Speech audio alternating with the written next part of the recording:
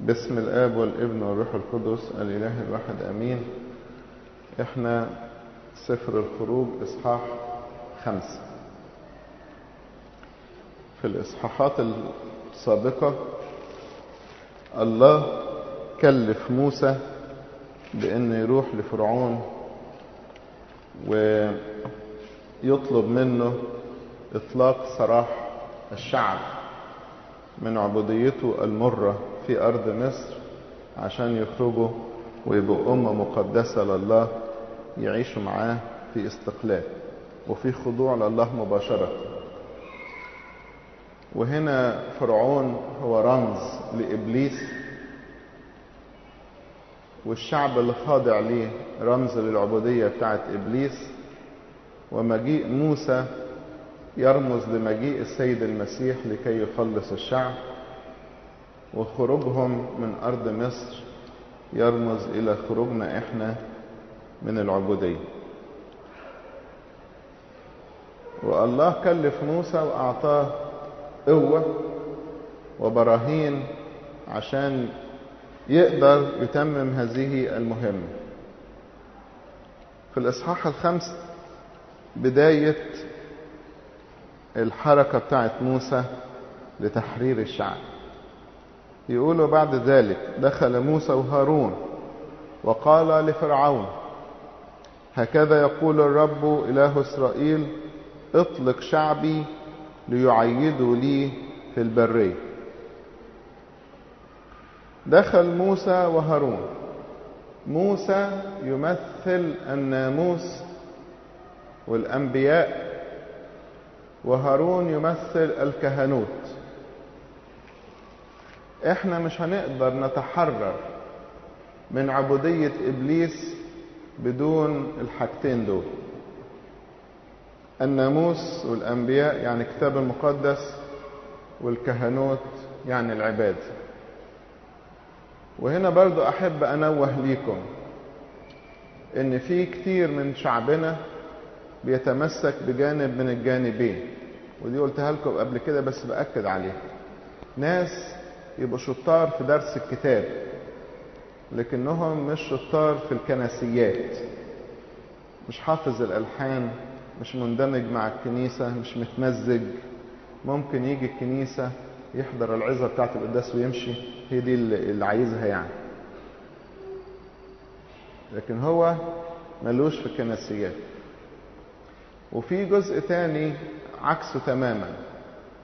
تلاقيه شماس شاطر في الألحان ومواظب وعارف كل طقس الكنيسة ومناسباتها وأعيادها وتلاقيه يظهر معانا في الجمعة العظيمة ويظهر معانا ليلة العيد وهو اللي حافظ الألحان وهو اللي بيقود وهو اللي بيشعلل الدنيا باللحن ولكنه لا يفقه شيء في الكتاب المقدس. وتلاقيه لما يقف يقرأ في القطمارس يغلط يغلط ليه؟ لأنه مش عارف هو بيقرأ إيه. أول مرة تعدي عليه الكلمات فبيغلط. لكن لو واحد دارس وعارف فاهم هو بيقول إيه. الاثنين عبارة عن جناحين بنطير بيهم لربنا الكتاب المقدس والكنيسه كلمة الله والعبادة. عاملين زي السلكين بتوع الكهرباء. لو واحد منهم اتقطع الدايرة تتفتح والكهرباء تنقطع. لازم السلكتين عشان يبقى فيه دايرة. في العبادة نحن نتكلم مع الله وفي الكتاب المقدس هو يتكلم معنا. موسى بيجيب لنا كلمة ربنا وهارون بيرفع صلواتنا أمام الله فالاثنين لازم يكونوا موجودين. موسى وهارون كلاهما دخل لفرعون عشان يطلق الشعب وأنت أيضا تدخل للشيطان وتتحارب معاه وتغلبه.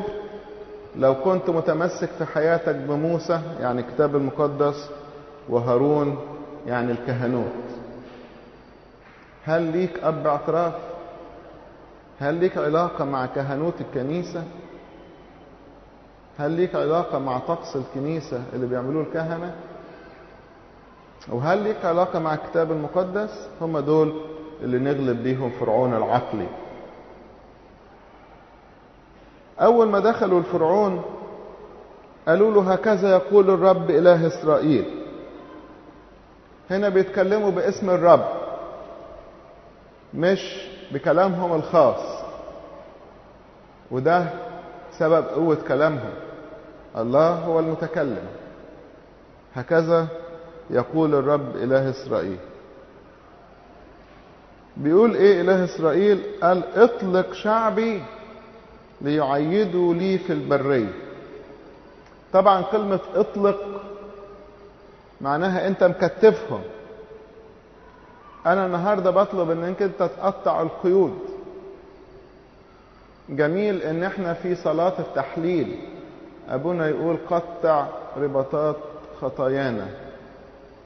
الواحد فينا متكتف بالخطية مش قادر يتحرك. يجي المسيح يقطع هذه الرباطات. فبيتكلموا مع فرعون بسلطان. اطلق شعبي.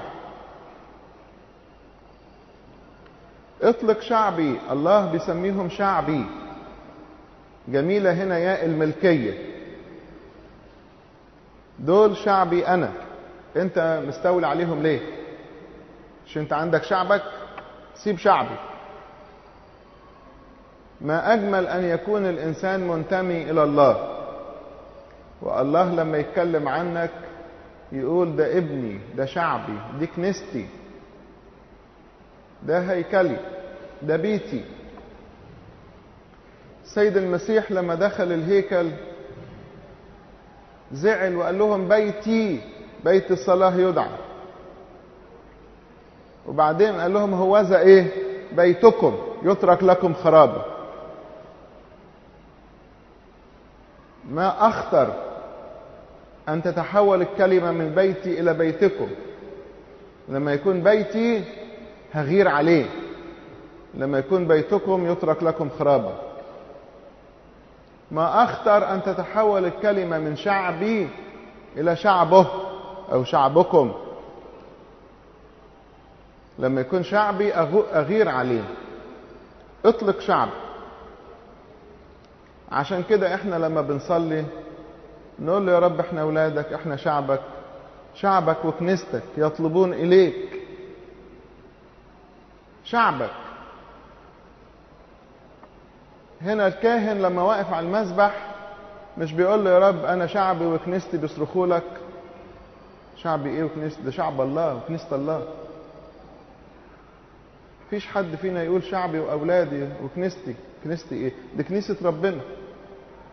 أنا خدام لشعب الله وأنا خادم في كنيسة الله. عشان كده بنقف في القداس نقول له شعبك وكنيستك. كأني بقول له يا رب هو أنا هغير عليهم أكتر منك؟ بقى شعبك بيصرخ لك وأنت تسكت.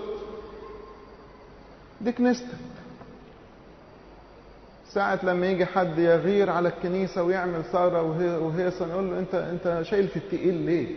شايل في التقيل ليه؟ دي كنيسة ربنا وهو المخلص. مش ممكن يتركها. أنت تصرخ له. اطلق شعبي.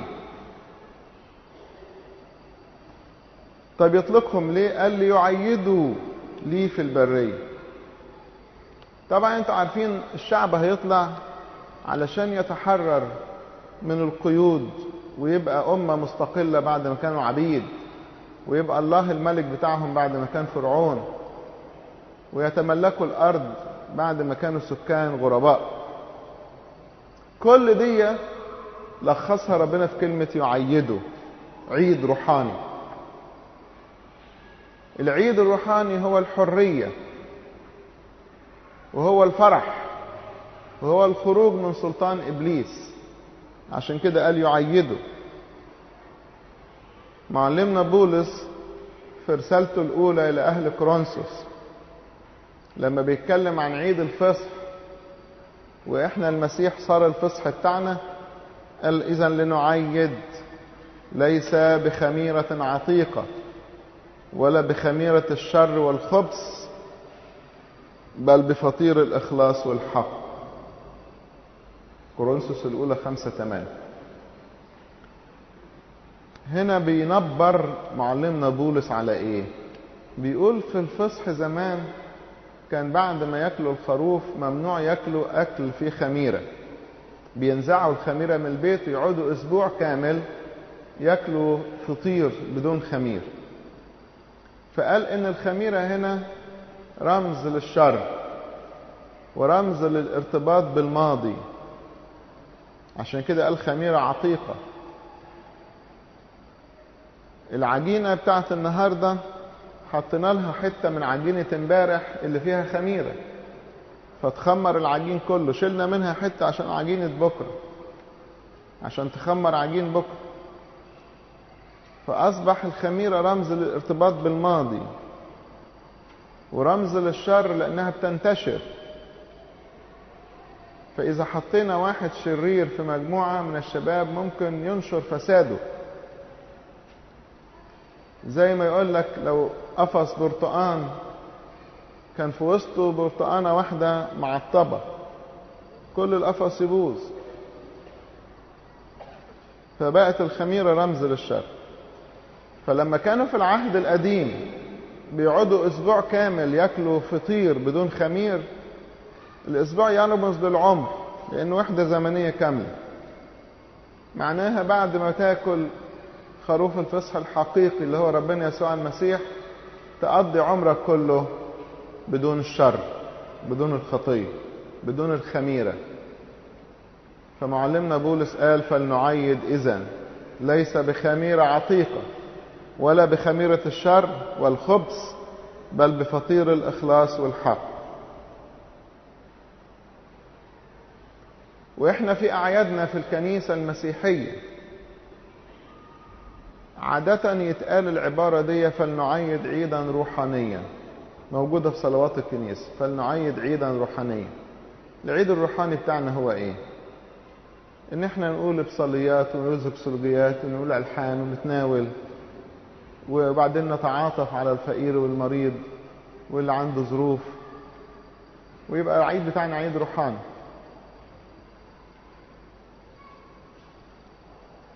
اطلق شعب شعبي ليعيدوا لي في البرية. أقول له طب ليه ما يعيدوش جوه مصر؟ يعني لازم تطلقهم عشان يعيدوا في البرية؟ هنا نتذكر الآية اللي جت في سفر المزامير. على أنهار بابل هناك جلسنا فبكينا عندما تذكرنا صهيون على الصفصاف اللي هو شجر الصفصاف هناك علقنا قصاراتنا. الذين استقونا إلى هناك لسأونا واخدونا قالوا سبحوا لنا تسبحة من تسبيح صهيون ردوا قالوا إيه؟ كيف نسبح تسبحة الرب في أرض غريب إزاي واحد يجي له نفس يعيد ويفرح وهو مسبي؟ كيف يتفق الفرح مع السبي؟ عشان كده الواحد مش ممكن يفرح إلا إذا تاب. طول ما في خطية هناك حزن. ولذلك قيل من ثمر الروح أول حاجة محبة فرح سلام. عشان نعيش في الفرح الحقيقي لابد إن إحنا نمتلئ بالروح القدس ونثمر.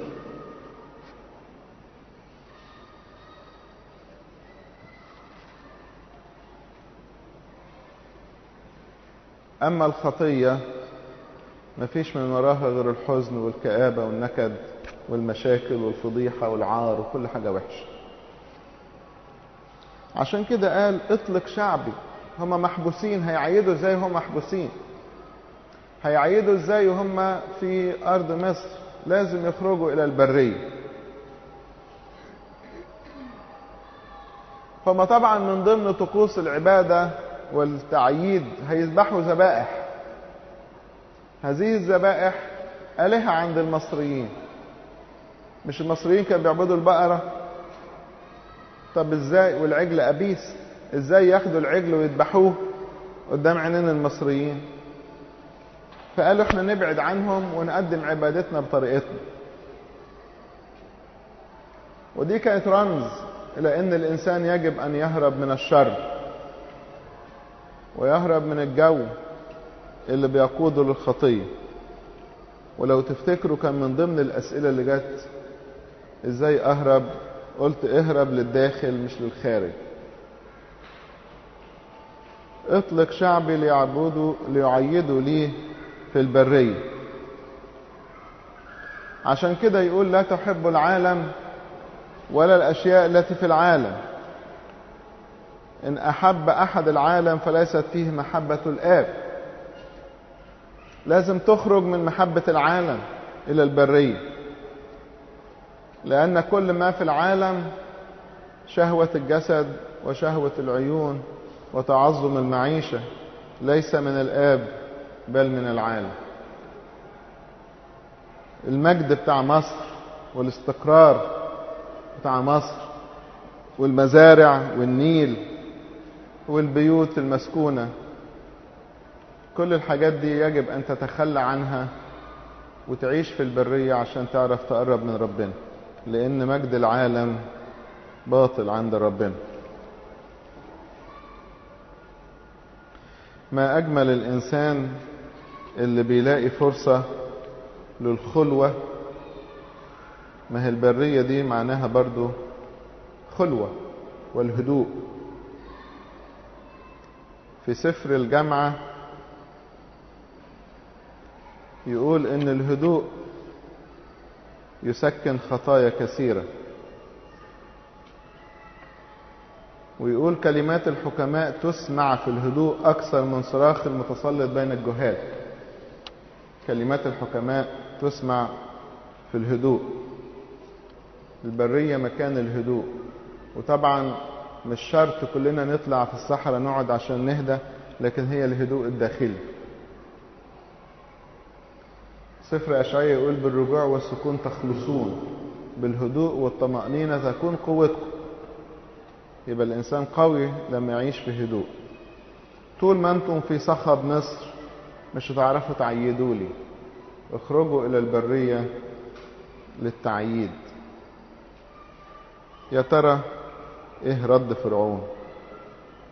فقال فرعون من هو الرب حتى أسمع لقوله فأطلق إسرائيل؟ لا أعرف الرب وإسرائيل لا اطلقه إجابة مليانة بالعجرفة والكبرياء.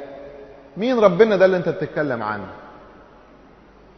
هم العبرانيين دول لهم إله. ما سمعناش قبل كده. ما أعرفش ما أعرفش ان في إله ليه سيبك من الكلام الفاضي ده. وإن كان ليهم إله فهو إله ضعيف بدليل إن هم عبيد. أنا ما شفتش دليل واحد على إن هذا الإله قوي. بقى لهم 400 سنة قاعدين هنا ما لهمش إله. إلههم نسيهم. كل دي إهانات توصل لمسامع رب الجنود.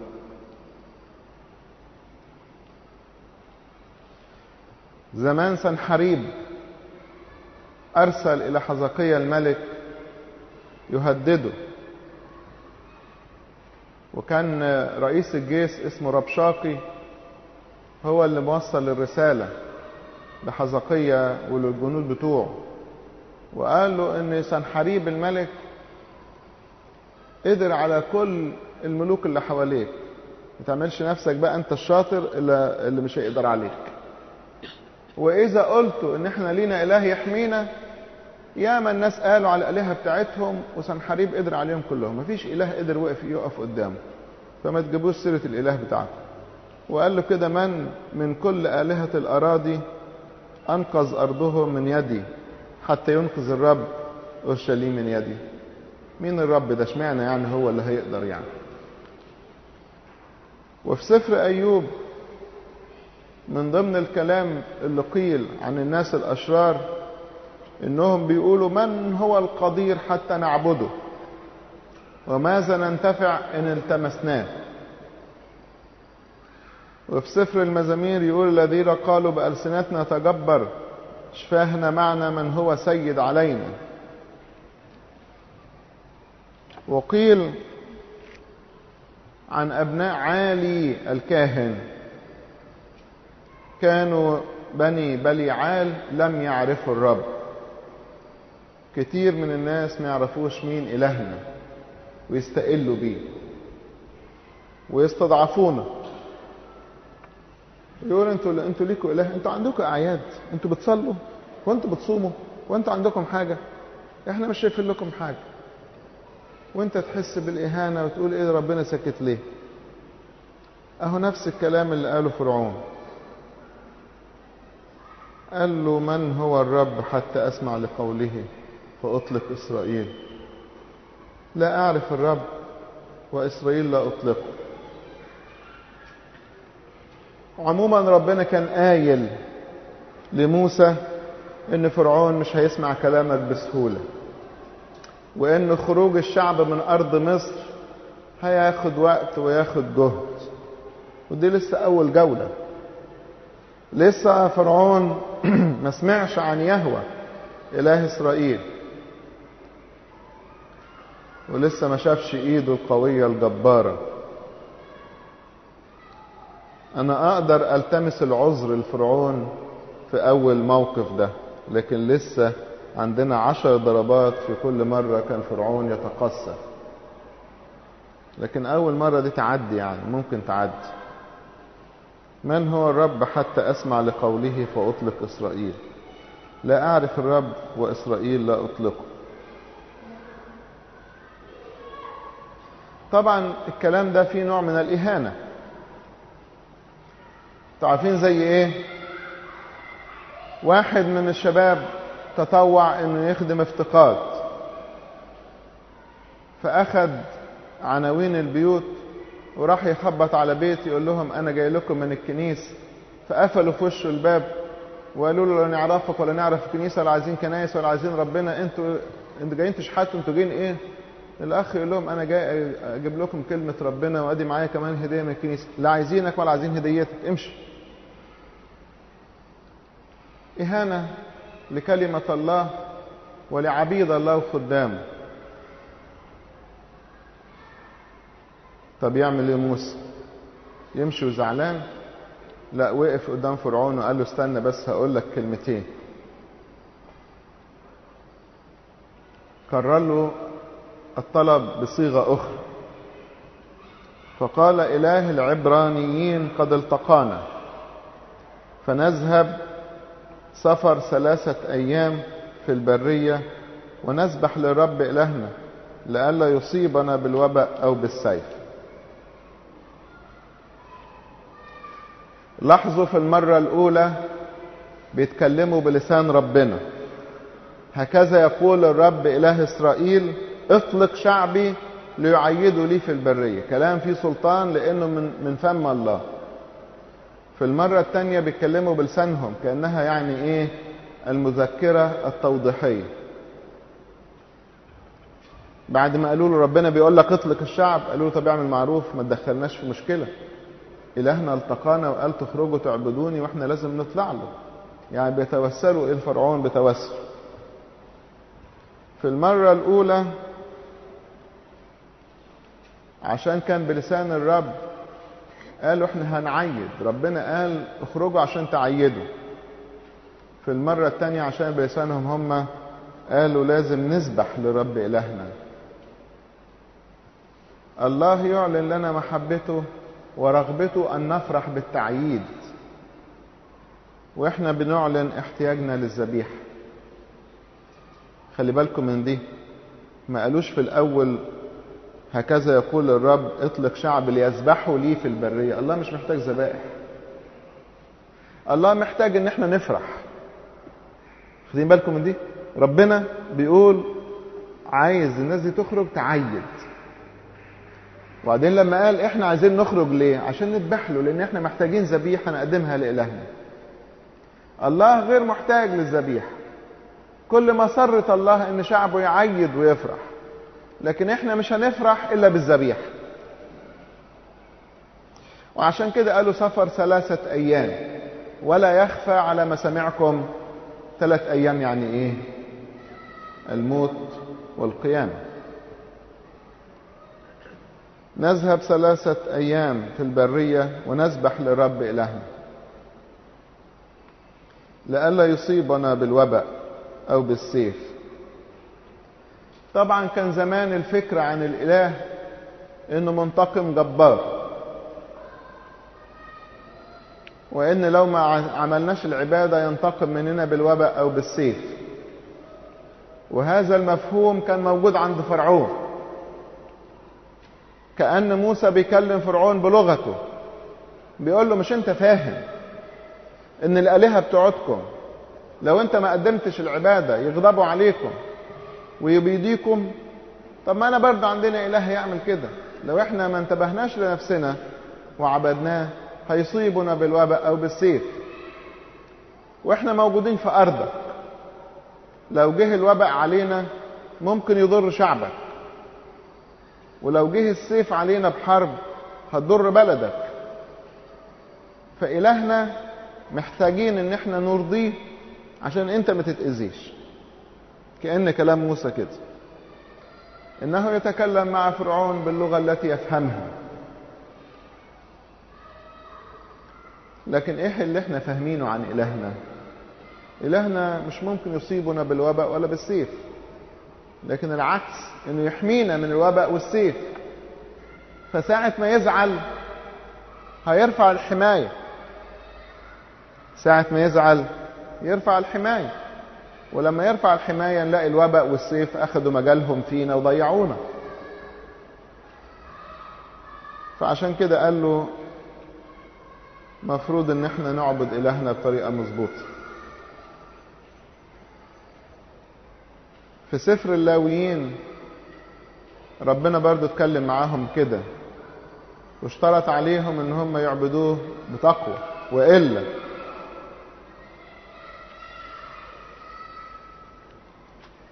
والا أجلب عليكم سيفا ينتقم نقمة المصاب وأرسل في وسطكم الوباء فتدفعون بيد العدو.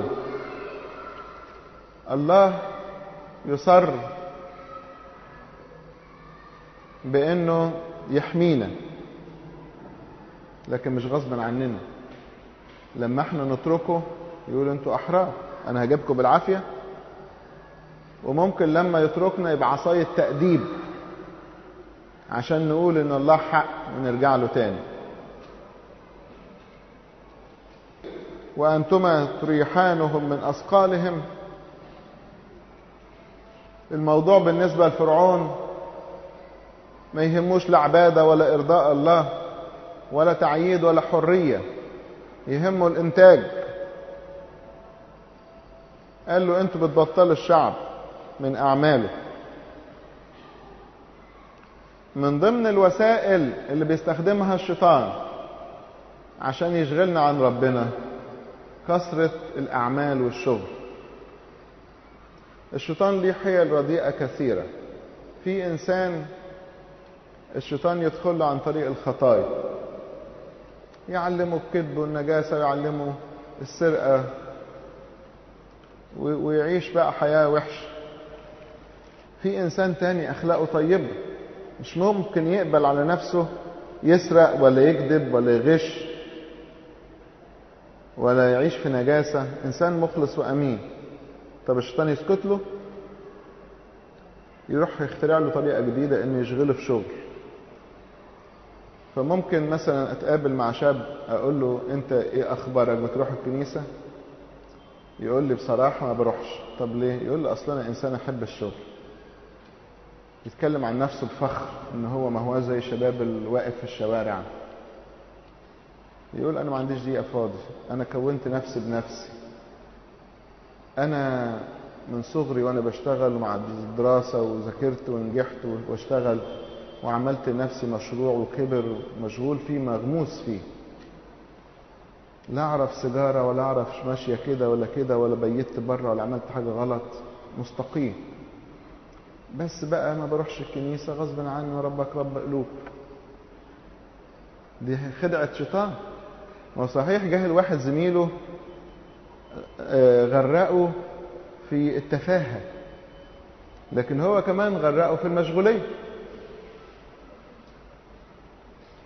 الأوحش من كده إن في نوع ثالث يحب ربنا ويحب الكنيسة. فالشغل ما يشغلهوش ولا شهوات تعطله. طب الشيطان ده يجي له إزاي؟ تعرفين يجي له إزاي؟ بانحراف العقيدة.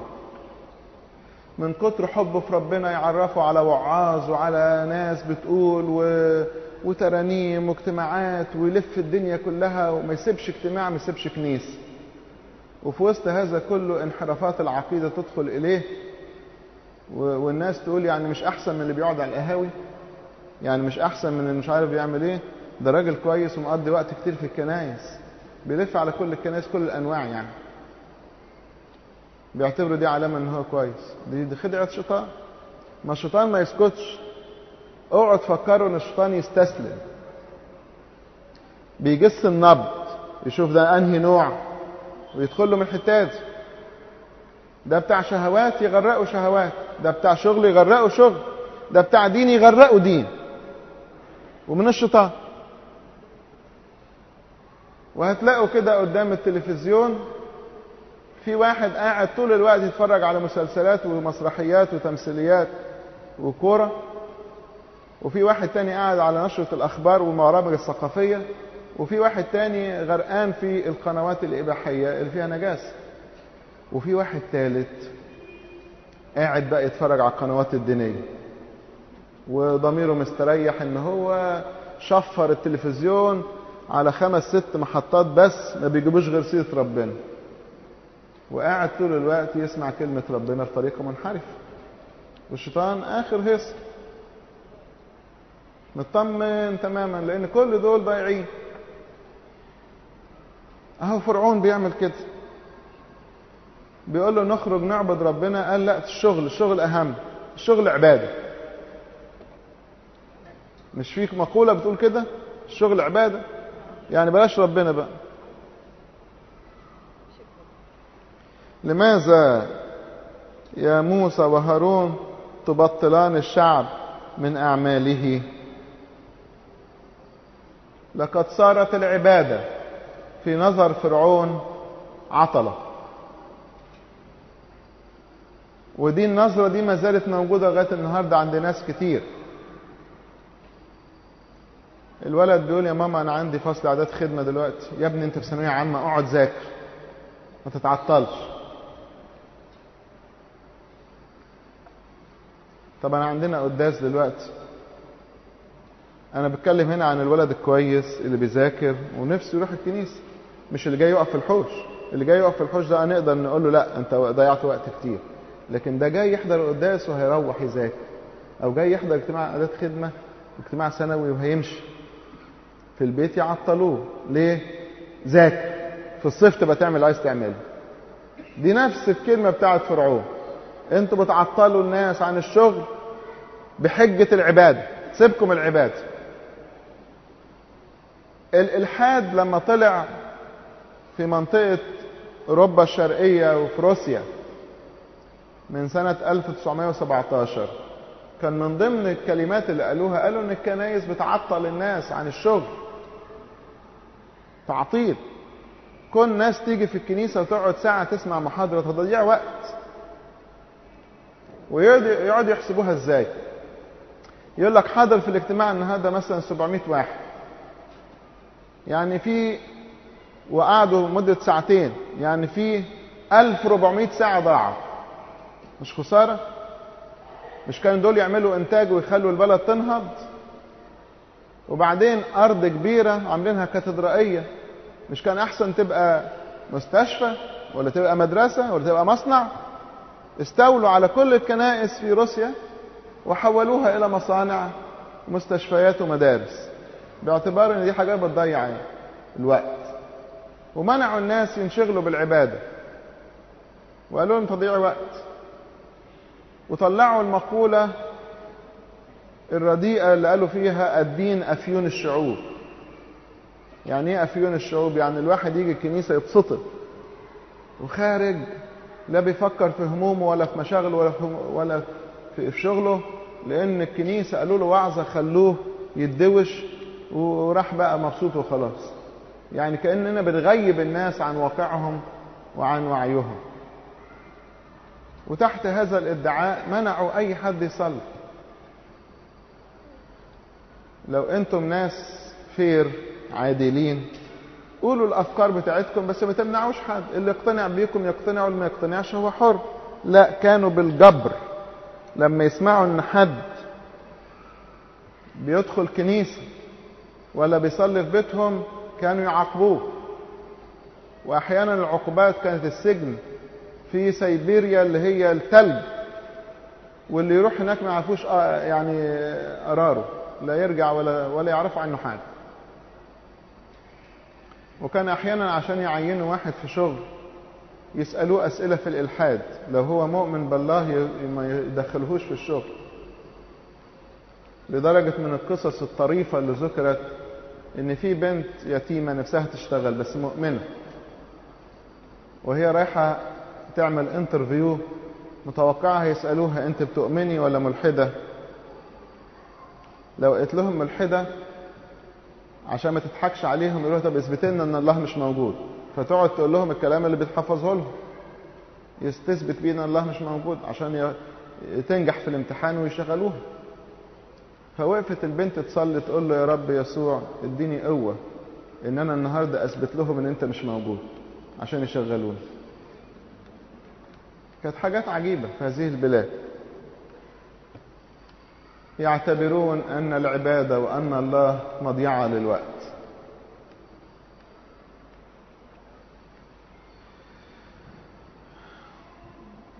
عموما ربنا كان قايل لموسى لكني أعلم أن ملك مصر لا يدعكم تمضون ولا بيد قويه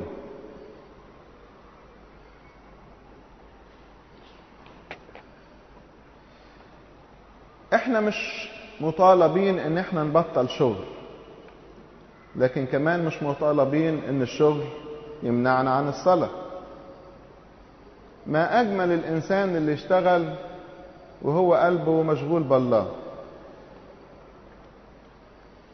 إيه المانع ان الواحد يبقى منتج وشغال كويس لكن مفيش هم في قلبه؟ اصل اللي شغال طول الوقت دوت معناه مهموم. الحياة متسعة ان الانسان يشتغل ويستريح ويتفسح وياخد اجازة ويزور الناس ويبقى فيه تعاون وفيه علاقات وفيه محبة. ما هياش الحياة 24 ساعة شغل محدش في الدنيا يقدر يشتغل 24 ساعة. ولا الطلبة اللي بيذاكروا اوعى تفكروا الولد اللي قاعد على الكتاب 10 ساعات ورا بعض ده بيستوعب. أنتوا حبستوه في الأوضة ما تطلعش غير لما تخلص مش هيخلص لأن هو مش بيستوعب. في قدرة للذهن بعدها خلاص بيقفل. ده الكمبيوتر لما بنقعد نشتغل عليه كتير بيهنج. لازم ياخد نفس. المكنة اللي بتشتغل على طول هتبوظ لازم تستريح. ده أحيانا في شركات النقل والسياحة لما يكون عنده أسطول من الأتوبيسات بيدي كل أتوبيس أجازة. مرة في الأسبوع الأتوبيس ده ما يخرجش كل أتوبيس ليه رقم. في أتوبيس ما يخرجش كل يوم ولكن إذا كان حتى الشركة شغالة يوميا الأتوبيسات نفسها ناس تاخد أجازة. فالبني آدم لازم يستريح. ربنا أعطانا إن إحنا يكون لنا يوم راحة واليوم دوت يبقى فيه عبادة. لذلك السيد المسيح علمنا وقال إيه؟ لا تهتموا لحياتكم بما تأكلون وبما تشربون ولا لأجسادكم بما تلبسون. أليست الحياة أفضل من الطعام؟ والجسد أفضل من اللباس؟ انظروا إلى طيور السماء إنها لا تزرع ولا تحصد ولا تجمع إلى مخازن وأبوكم السماوي يقوتها ألستم أنتم بالحري أفضل منها؟ ولماذا تهتمون باللباس؟ تأملوا زنابق الحقل كيف تنمو؟ لا تتعب ولا تغزل. ولكن أقول لكم إنه ولا سليمان في كل مجده كان يلبس كواحدة منها. فلا تهتموا قائلين ماذا نأكل أو ماذا نشرب أو ماذا نلبس. فإن هذه كلها تطلبها الأمم لأن أباكم السماوي يعلم أنكم تحتاجون إلى هذه كلها. لكن اطلبوا أولا ملكوت الله وبره هذه كلها تزاد لكم.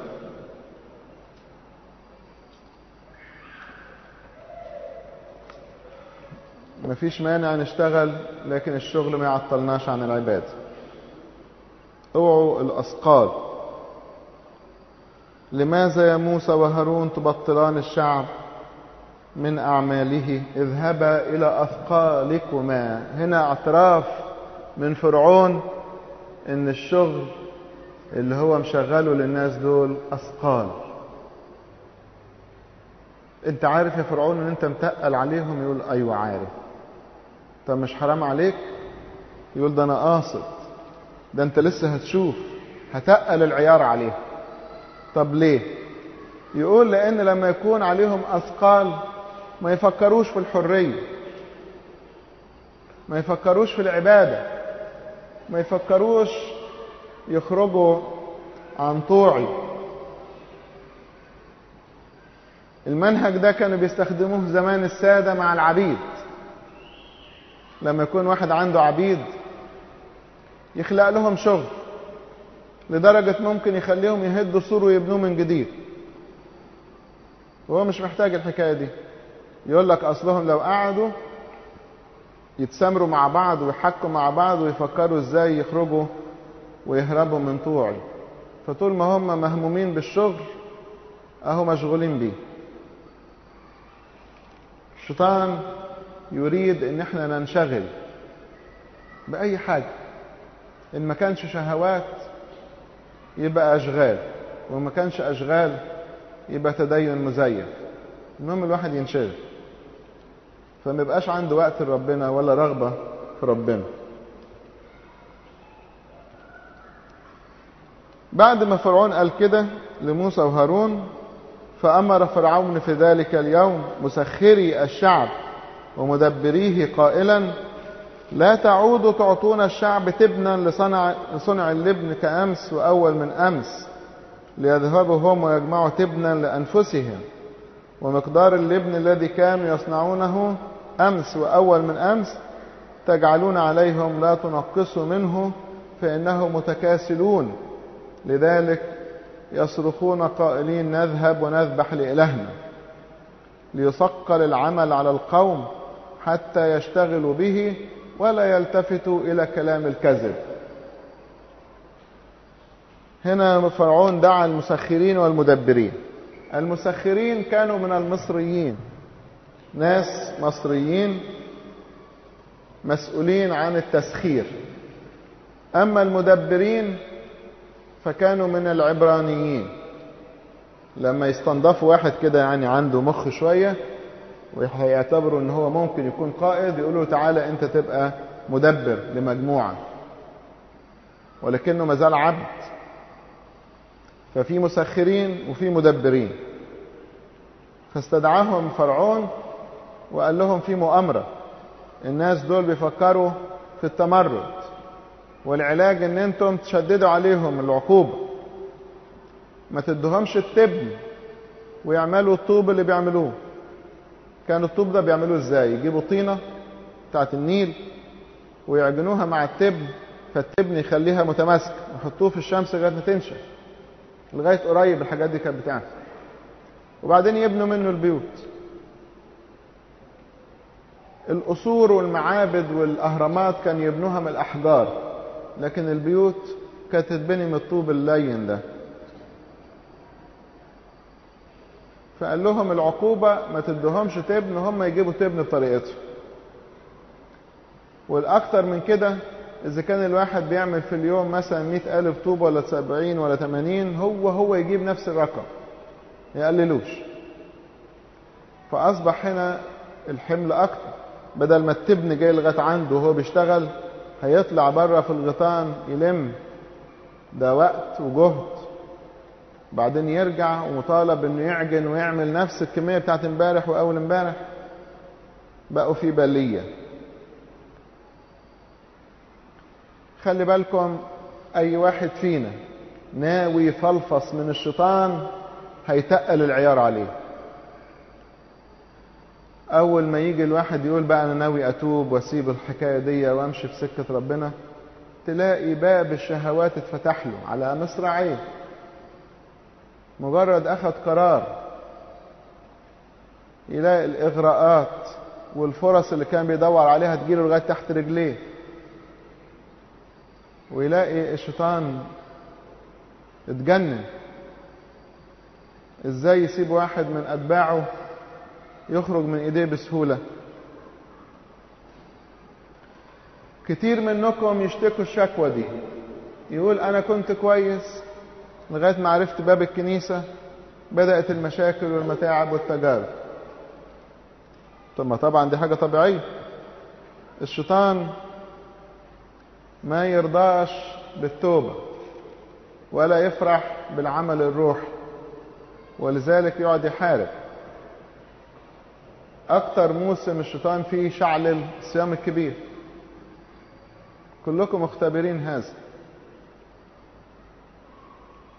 لكن على أي الأحوال معلمنا يعقوب في رسالته يقول احسبوه كل فرح يا إخوتي حينما تقعون في تجارب متنوعة. عالمين أن امتحان إيمانكم ينشئ صبرا وأما الصبر فليكن له عمل تام. لكي تكونوا تامين وكاملين غير ناقصين في شيء. يعني مفيش مانع نستقبل التجربة. إيه يحصل إيه يعني؟ وفي يشوع بن سراخ يقول يا ابني إن أقبلت لخدمة الرب الإله فاثبت على البر والتقوى وأعدد نفسك للتجربة. ارشد قلبك واحتمل. أمل أذنك واقبل أقوال العقل ولا تعجل وقت النوائب. النوائب يعني المصايب. انتظر بصبر ما تنتظر من الله. يقول له مهما نابك فاقبله وكن صابرا على صروف اتضاعك فإن الذهب يمحص في النار والمرضيين من الناس يمحصون في أتون الاتضاع. يعني حتى لو الشيطان زود العيار ربنا يقول لك ما يهمكش ده لفايدتك لمصلحتك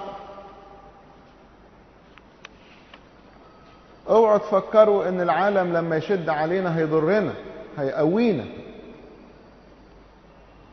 لما يجي واحد يشتكي إن الامتحان بالنسبة له صعب وبالنسبة لزميله سهل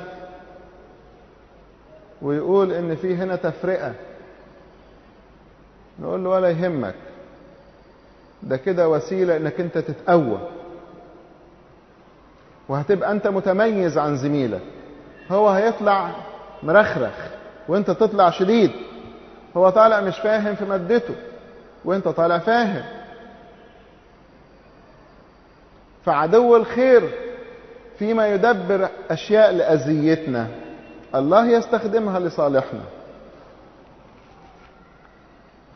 لو كان العالم يعني فرش لنا الأرض بالورد كنا هنطلع مرخرخين إحنا كمان.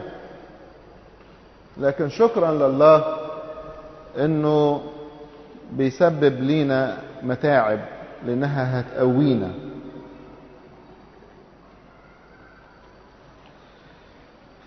أحيانا عندما نلجأ إلى الله نعاني وأحيانا المعاناة تأتي لأنك تعمل الخير في عالم شرير.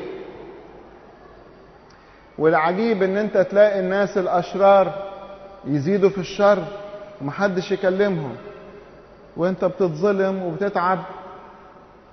مش ده المنظر بتاع فرعون؟ بقى إحنا رايحين نقول لك عايزين ناخد أجازة ثلاث أيام. عشان نعيد ونحتفل لإلهنا. قمت تقل علينا العيار. فخرج مسخر الشعب ومدبروه وكلموا الشعب قائلين هكذا يقول فرعون لست أعطيكم تبنا اذهبوا أنتم وخذوا لأنفسكم تبنا من حيث تجدون إنه لا ينقص من عملكم شيء. غلاب الناس دول. فتفرق الشعب في كل أرض مصر ليجمعوا تب قشا عوضا عن التبن وكان المسخرون يعجلونهم قائلين كملوا أعمالكم أمر كل يوم بيومه كما كان حينما كان التبن أمر كل يوم بيوم يعني فريضة اليومية فضرب مدبري بني إسرائيل عشان طبعا مش قادرين يجيبوا الكميات. فراحوا جايبين المدبرين ضربوهم عشان المدبر من دول ينزل متغاظ يضرب في الناس ويبقى هم بيضربوا في بعض وقعهم في بعض. فضرب مدبري بني إسرائيل الذين أقامهم عليهم مسخرو فرعون وقيل لهم لماذا لم تكملوا فريضتكم من صنع اللبن أمس واليوم كالأمس وأول من أمس؟ فجم بقى مدبروا بني إسرائيل وصرخوا إلى فرعون قائلين لماذا تفعل هكذا بعبيدك؟ راحوا يشتكوا الفرعون يقول لك بيستجير من النار بالرمضاء. يعني واحد راح يشتكي لفرعون من القساوة وهو فرعون نفسه ينبوع القساوة. لماذا تفعل هكذا بعبيدك؟ التبن ليس يعطى لعبيدك والابن يقولون لنا اصنعوه وهوذا عبيدك مضروبون. وقد أخطأ شعبك. أخطأ شعبك ممكن تتاخد بمعنيين. شعبك اللي هم المسخرين اللي عمالين يضربونا غلطوا ما ينفعش إن شعبك يغلط.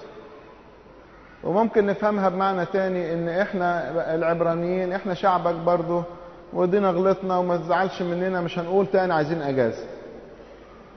نوع من التخاذل. قد أخطأ شعبك. ففرعون بمنتهى القساوة والعند قال لهم متكاسلون أنتم متكاسلون. لذلك تقولون نذبح نذهب ونذبح للرب. فالآن اذهبوا واعملوا وتبن لا يعطى لكم ومقدار اللبن تقدمون راحوا يستجيروا بفرعون لكن هو نفسه اللي كان صاحب القرار كيف يتراجع عنه؟ لا يوجد رحمة. هل الشيطان عنده رحمة؟ أروح أقول للشيطان لو سمحت ما تحاربنيش تاني؟ ما يبقاش شيطان. بقى فرعون لو رحم الناس دول ما يبقاش فرعون. عشان كده اللجوء لله مش للناس. فرأى مدبر بني إسرائيل أنفسهم في بلية. إذ قيل لهم لا تنقصوا من لابنكم أمر كل يوم بيومه. وصادفوا موسى وهارون واقفين للقائهم حين خرجوا من لدن فرعون. طبعا موسى وهارون انطردوا من قدام فرعون. فوقفوا قريبين من القصر يشوفوا المدبرين دول هيوصلوا لإيه؟ قالوا جايز ربنا يعمل بيهم ويحنن قلب فرعون ونشوف إيه النتائج. فهم خارجين من القصر لا قدامهم موسى وهارون قالوا لهم كلام شديد. قالوا لهم ينظر الرب إليكما ويقضي يعني ربنا ينتقم منكم. دي بالظبط كده. أنتوا إيه اللي عملتوه ده؟ إحنا ناقصينكم إحنا كنا عايشين وساكتين. قمت هيجوا علينا فرعون وتخلوا الحكاية تبقى كده. ينظر الرب إليكما ويقضي. لأنكم ما أنتنتما رائحتنا في عيني فرعون وفي عيون عبيده حتى تعطي سيفا في أيديهم ليقتلونا. كلمة أن تنتما رائحتنا في عيني فرعون يعني خلتنا منظرنا وحش. ما إحنا كنا ساكتين.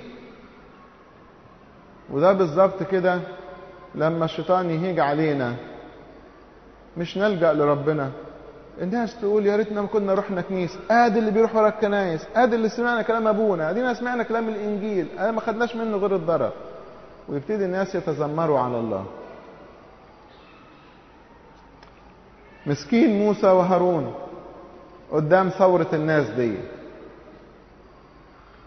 موسى وهارون كان هدفهم تخليص الناس. ما أخدوش منهم غير الإهانة.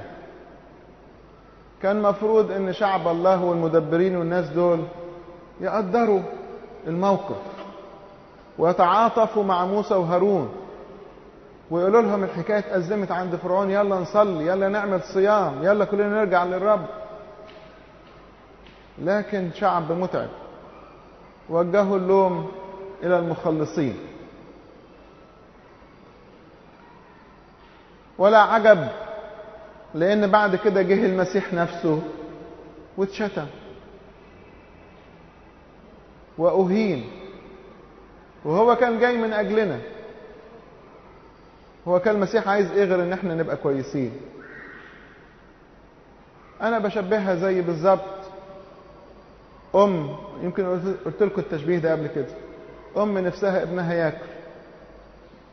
فتجري وراه في كل الشقه ومعاها في إيدها الأكل وتأكله وهو الواد بيزوغ منها. تفتح له بقه بالعافية وتحط له وبعدين هو يجمع الأكل في بقه ويجي في وشها يروح تفه في وشها. تقول له يا ابني يعني ما خدش منها غير كده تقوم تغسل وشها وتيجي تأكله برضه. أحيانا شعب الله بيعمل كده مع الخدام.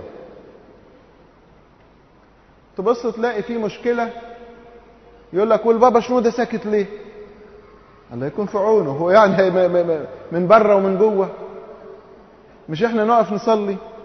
ولا تعب من بره وتعب من جوه؟ مش كفاية فرعون؟ تيجوا أنتوا كمان. تهينوا رجل الله ورجال الله وخدام الله. مش الأحسن إن إحنا نقف نصلي وندي صلاة أن الله يعطيهم حكمة ومعونة وقوة. لقد أخطأ مدبر الشعب في ملامتهم لموسى وهارون. وكأنهم في هذه الملامة قالوا فرعون أحسن من ربنا. أدينا قاعدين وبناكل وبنشرب وعايشين زي ما يتفق لغاية ما نموت. لكن ليه هيجوا فرعون ضدنا؟ شوفوا الكلام بقى الجميل. فرجع موسى إلى الرب. هو ده الكلام. موسى ما جاوبش الناس دي ولا قال لهم حاجة ولا دافع عن نفسه ولا حتى قال لهم كلمة تشجيع. هو قال أنا مين اللي مكلفني؟ ربنا أرجع له. لا يوجد ملجأ لخادم الله إلا الله نفسه. ما أجمل المسبح وتعزيات المسبح ما أجمل وقفة الصلاة لما يكون الكاهن أو الخادم مهان ومشتوم من شعبه. اللي بيخدمه بعينيه وبقلبه. ويرجع للمسبح يبكي له يقول له أنا أنا ما رسمتش نفسي أنت اللي رسمتني أنا ما قحمتش نفسي على الخدمة أنت اللي جبتني. فأنت يا رب تتولى هذا الأمر. فرجع موسى إلى الرب. ممكن لو سمحتوا الآية دي تحفظوها؟ وتشيل كلمة موسى تحط اسمك. ويبقى كل واحد فينا يرجع إلى الرب يبث لديه شكواه. قال له إيه؟ كأنه بيبكي. يا سيد لماذا أسأت إلى هذا الشعب؟ أنت كده عملت لنا مشكلة يا رب. لماذا أرسلتني؟ الناس أكلوا وشي.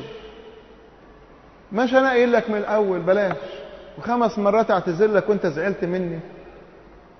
أنا متوقع يا رب إن أنا أول ما أدخل عند فرعون يخاف مني. لأن أنا جاي له من عند الله اللي أقوى من فرعون. ده يا رب قال كلام شديد عليك قال ما أعرفش ربنا وربنا مين دوت وإيه الإله اللي أنت بتقول عليه. واستقل بيك وشدد العيار على الناس. لماذا أرسلتني؟ فإنه منذ دخلت إلى فرعون لأتكلم باسمك أساء إلى هذا الشعب وأنت لم تخلص شعبك ما أجمل إن أنا أرجع لربنا عاتبه ما يزعلش. حتى متى يا رب تنساني؟ أصرخ له. ربنا ما يزعلش لما نصرخ له يقول له أنت سبتني ليه؟ هتقعد لغاية إمتى سايبني؟ وأصارعه حتى الفجر زي أبونا يعقوب. وأقول له لا أتركك إن لم تباركني وتخلصنا من هذه الشدة والضيق. إحنا ملناش ملجأ غيرك. مش هنشتكي لحد ولا هنستعين بحد ولا لينا ملجأ. لأن الناس كلهم هيكونوا ضدنا. أنت وحدك اللي هتشفق علينا. ربنا يرد عليه إيه. فقال الرب لموسى الآن تنظر. طول بالك. الآن تنظر ما أنا أفعل بفرعون فإنه